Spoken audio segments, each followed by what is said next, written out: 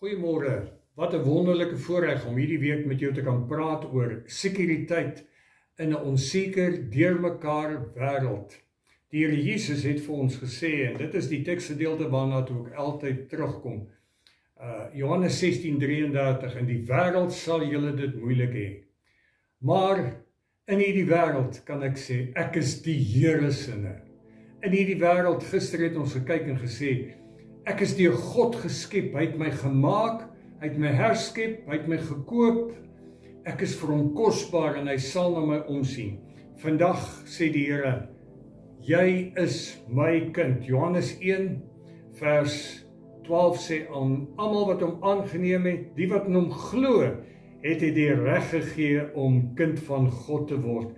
Hulle is dit nie van nature nie, nie deur die drang van 'n mens of 'n besluit van 'n man nie, maar hulle is uit God gebore. Vanmôre sê ek vir jou, jy is kind van die Here en die Here sê jy's uit my gebore. Is dit nie wonderlik dat ek vanmôre kan sê ek is 'n kind van die Allerhoogste God? 1 Petrus 1 vers 23 sê ek is wedergebore nie uit verganklike saad nie, maar die onverganklike saad.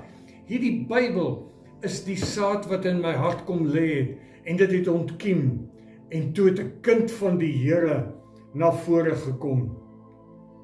Wat beteken dit vir jou dat die Here vanmôre vir jou sê jy's my kind? Die Here sê in 'n deurmekaar wêreld is jy my kind. Gaan ek jou in die steek laat?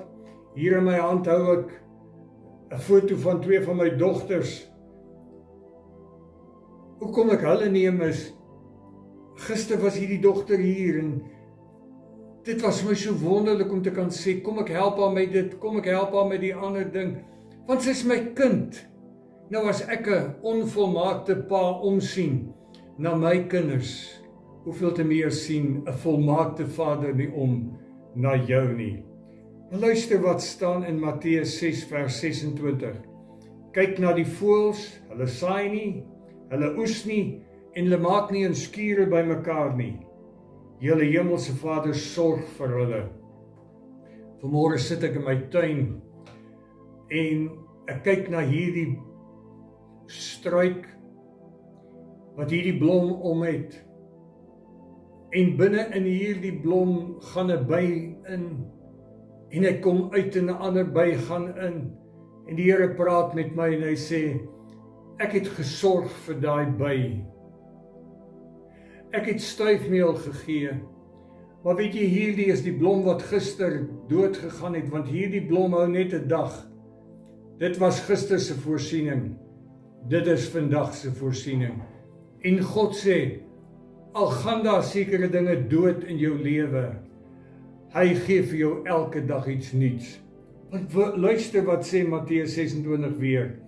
Julle is baie meer werd as hulle. Ek is baie meer werd as 'n by. Wie het op daai by sien toe sê: "O oh, God sê vir my, ek sorg vir jou."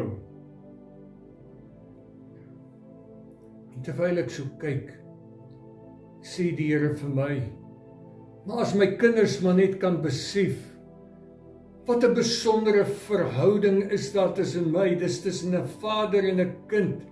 As jy vir jou aardse kinders sorg, as ek vir 'n by sorg, hoeveel te meer gaan ek nie vir jou sorg nie.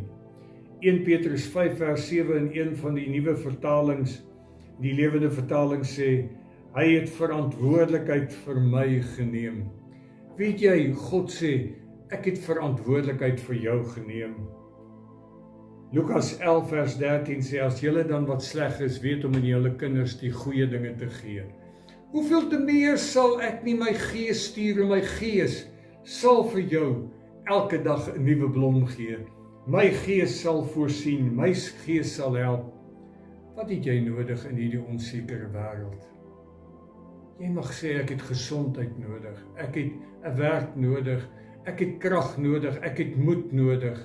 Die Here Jesus het gesê, jy sal dit moeilik hê, maar hou moed. Daar is vir God 'n maar en die maar is wie jy is en God kom vanmôre. En hy sê my kind, waarom is jy bang?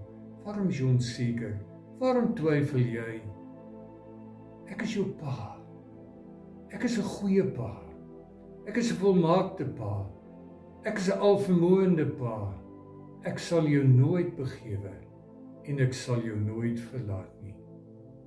Sê nou Vader, ek is u kind. Sê nou vir jouself, jy is kind van God.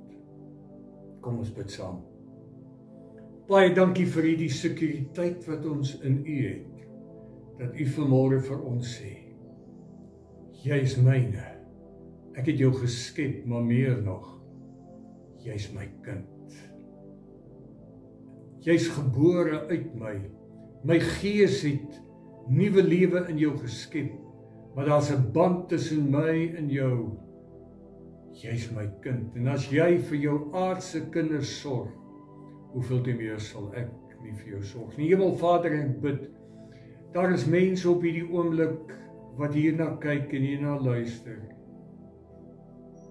Wat in hierdie gebroke wêreld sukkel met soveel dinge. Dankie dat U vir hulle vanmôre sê. Ek sal vir jou sorg. Dankie vir hierdie sekuriteit. Amen.